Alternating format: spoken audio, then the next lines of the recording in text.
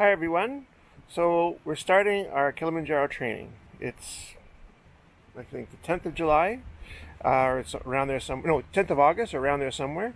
Um, but it's time to start training. So today we're starting with our stairs, and we're only doing like 20-25 minutes because you have to start slow. However, by the time we finish the training, we should be up to climbing at any one time for up to two hours. So uh, we're not there yet.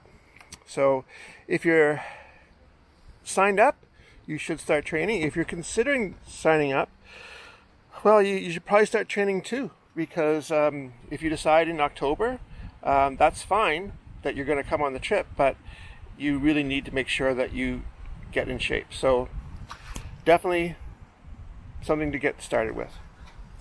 Okay, and uh, I'm going to start my watch. Press start, and here we go. So I'm only going to do one uh, flight with you guys because this is not that interesting.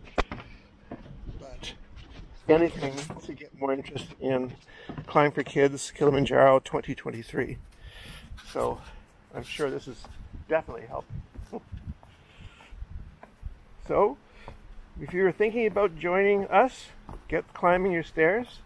Start off 20 25 minutes, take a break, a day or two, get back to it, and then make sure that you keep a record of your time. Um, I put out the Chase Mountains video on climbing stairs, so you can take a look at that as well. That's it, and uh, have a great day.